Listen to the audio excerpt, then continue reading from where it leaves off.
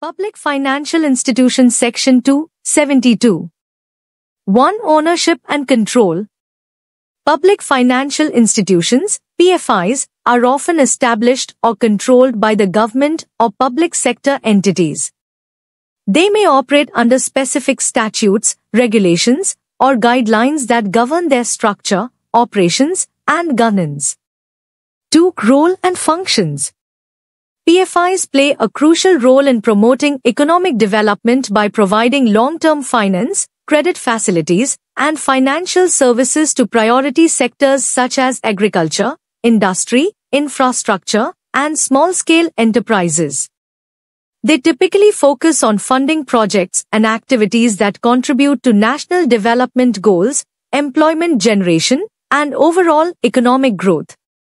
3. Regulatory Framework PFIs are subject to regulatory oversight by government authorities such as the Reserve Bank of India, RBI, Securities and Exchange Board of India, SEBI, or other regulatory bodies depending on their specific activities and functions.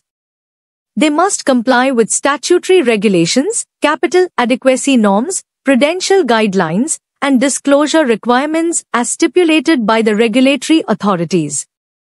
4. Financial assistance. PFIs provide financial assistance through various instruments such as loans, equity investments, guarantees, and advisory services to support infrastructure projects, industrial development, export promotion, and other strategic sectors of the economy. 5. Public accountability.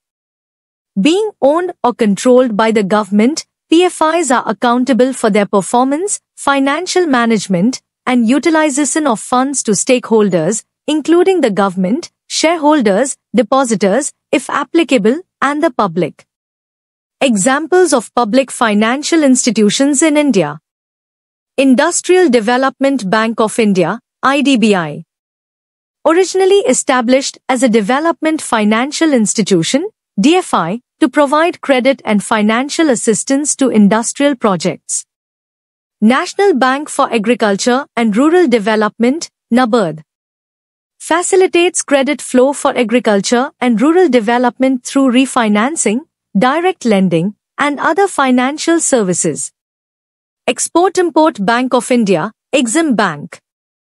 Provides financial assistance and advisory services to promote international trade and export-oriented industries.